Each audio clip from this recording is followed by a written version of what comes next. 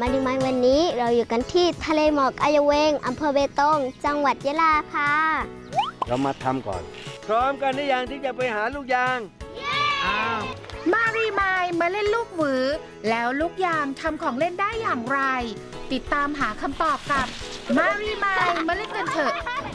เชฟเป่าเบาๆเดี๋ยวฟันปลอมหลุด เสาร์นี้ เวลา7โมง40 นาที ทางไทย PBS